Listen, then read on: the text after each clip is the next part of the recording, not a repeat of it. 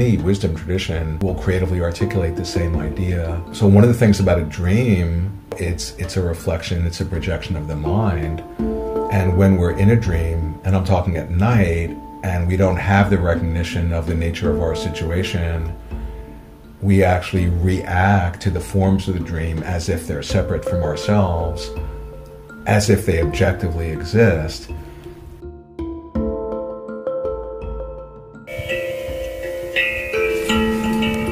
Soul demands that we experience our own divinity and find a way to express it in service to the world. It's like we're a kitten looking in a mirror seeing her reflection, which is just her own energy, but then reacting to the reflection as if it's something other than ourselves. So then it becomes an infinitely self perpetuating feedback loop where we actually are imprisoning ourselves by the creative power of our own mind. If we think this world is independent and objective, it will then, in no time whatsoever, reflect back the very point of view that we're entertaining. So then it will give us all the evidence that we need to support our perspective, oh, that it is objective, which then we become even more entrenched in that viewpoint. So we then even more see the world as separate and objective, and the more we see it that way, the more it proves to us that it really is that way in a feedback loop, which is generated by our own mind.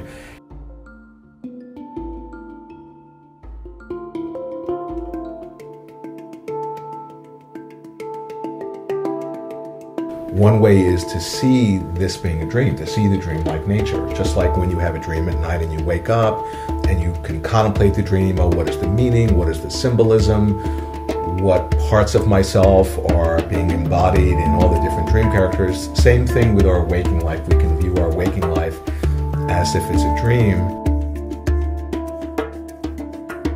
if this is a dream and we're dream characters in each other's dreams, so I'm a dream character in your dream, you're a dream character in my dream, whatever's happening, moment by moment, both of us, all 7 billion of us, are actually dreaming up into materialization this universe, whatever is unfolding. The implication of that is that we're not separate, we're interconnected, we're interdependent.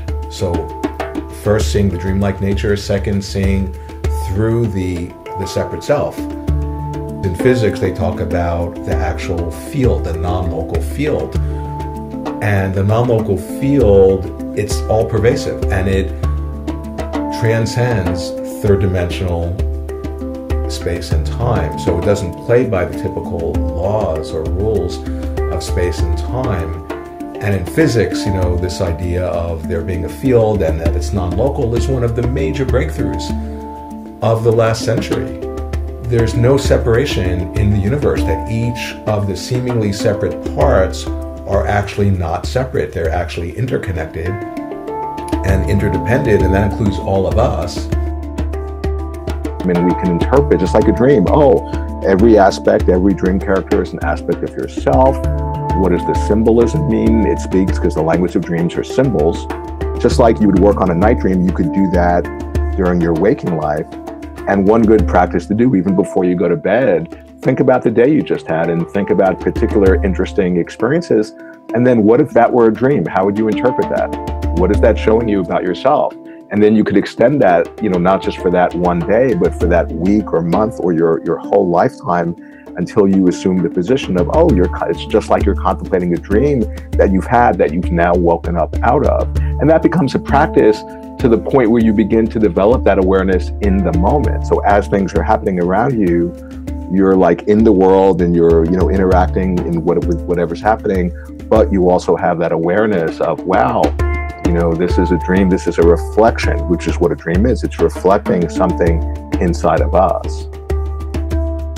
Pre-quantum physics, the classical physics was actually thinking there was an objective world out there that they were studying. And quantum physics is saying, no, no, no, that's empirically proven. There's not even the slightest shred of a doubt. There's no such thing as an objective world.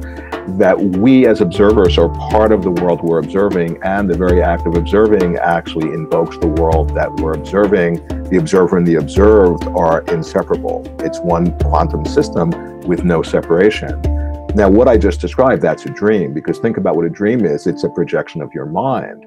It's actually the mind reflected back through the dreamscape. Another way of saying that is that our inner process is actually expressing itself through the channel of the seemingly outer mm-hmm. dream. And if we don't recognize that, we become entranced by the forms of the dream, thinking it's other. But if we have that recognition, oh, then we realize what we're experiencing is just a reflection of ourselves.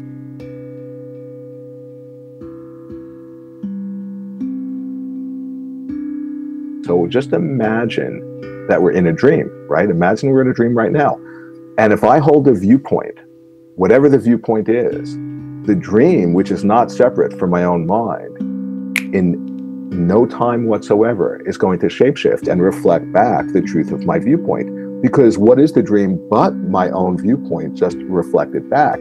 Now, if I'm holding a viewpoint and the dream is doing that, now I have all the evidence, at least in my thinking, to confirm, oh, well, my viewpoint is objectively true.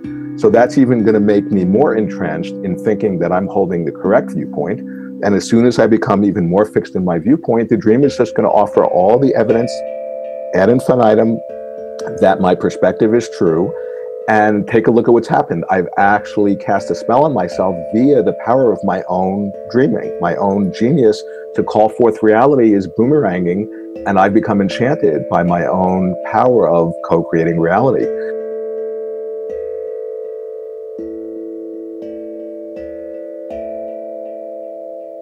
That's like the opposite of being awake. But when you see through that process, then all of a sudden you realize, oh, wow, this is a malleable universe. This is what quantum physics is pointing at. This universe is malleable. It's plastic. It's, it's not written in stone. Inside of my own psyche, there's nothing out there, right?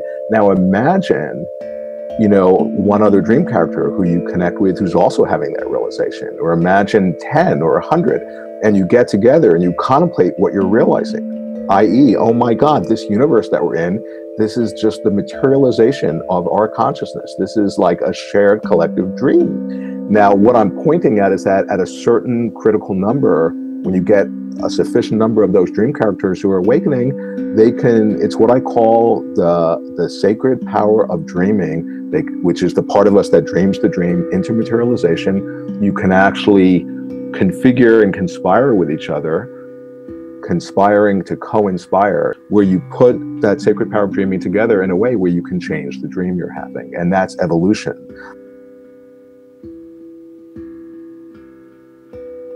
Now, what I was just describing is in a night dream, but that's the nature of our situation in, in, the waking dream. That's what all of this is about. That's what this waking universe is continually reflecting moment by moment for us to wake up to.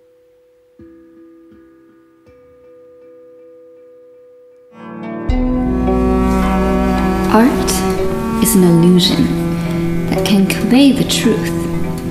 In the same way, the entire world of form is a magical illusion, an exhibition of transcendental artistry pointing to a greater truth. God's unrepresentable primordial state of clarity, awareness, and bliss underlies all manifest realms and can be recovered, remembered, reseen here and now.